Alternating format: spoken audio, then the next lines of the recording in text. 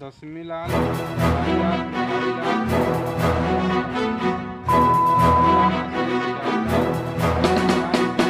युवक को आवास हेतु पैसे न देकर आवाज़ उठाना पड़ा महँगा।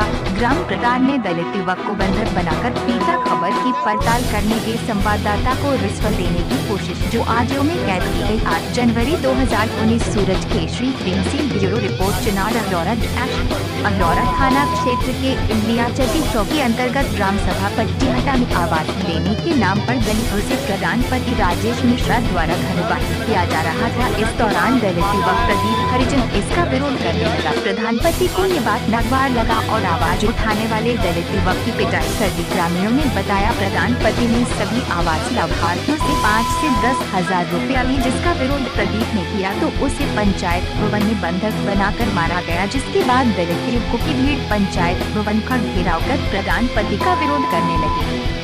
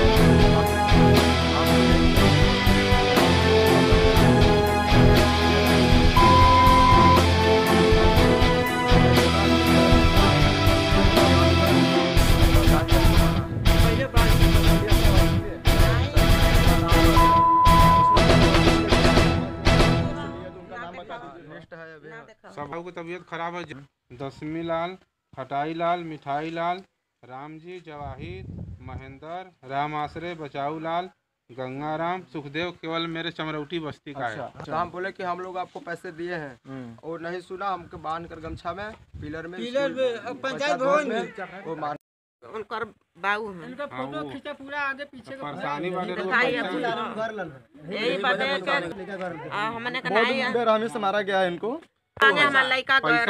का- दवा के लिए पैसा मांगने के लिए गए थे लेकिन पैसा न देकर इनको लड़कों को मारा गया है। हाँ, बाँध के मरले हैं। बाँध के मरले हैं।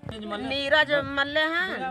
नीरज कौन है? बताए खुद ना नीरज उपाध्याय तौकीर राजेश मिश्रा प्रधान। नीरज उपाध्याय। हाँ तौकीर मुसलमान नीरज उपाध्याय कौन है? वही का लड़का। जो है। अच्छा। और तीनों लोग हमको बाँध कर मारे हैं सब। वही पंडित लोग के कर जाए तब किरवा रोवत करल है कि क्या हम- हम लोग जाए कहीं।